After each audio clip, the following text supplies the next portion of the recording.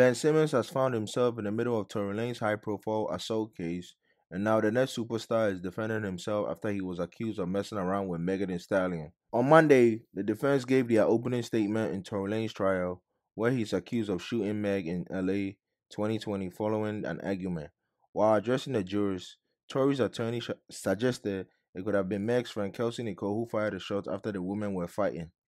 The defense claims Meg had a history of hooking up with men Kelsey has been with and accused her of doing just that with NBA star Ben Simmons, which they say caused a huge argument between the women. But Ben Simmons was quick to shut it down, posting a viral video on his Instagram story of Rick Ross yelling accusations. These are false accusations. During a segment with Swerve In Our Glory, when the Florida rapper visited AEW Dynamite.